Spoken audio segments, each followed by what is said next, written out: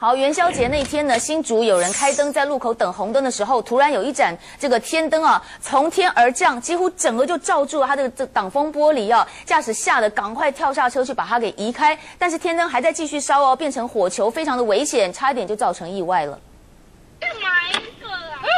天灯，天灯，有没有搞错？天灯就这样突然坠落，挡在挡风玻璃上，而且里面的油纸还烧着。就怕火越烧越大，驾驶赶紧下车把天灯拿走。还好早一秒钟把坠落的天灯拿下，没多久天灯也跟着烧了起来。搞什么东西啊？还好我们早点拿起来。